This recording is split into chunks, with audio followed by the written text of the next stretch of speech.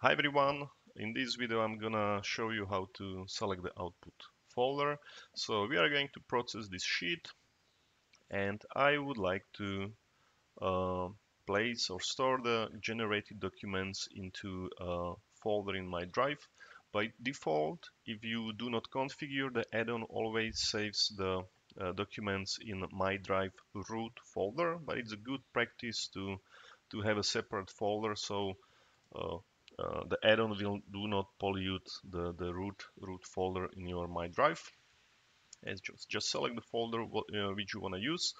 And now what's going on? Actually, the add-on also saves that output folder as a part of configuration for the sheet. So let me reopen the add-on.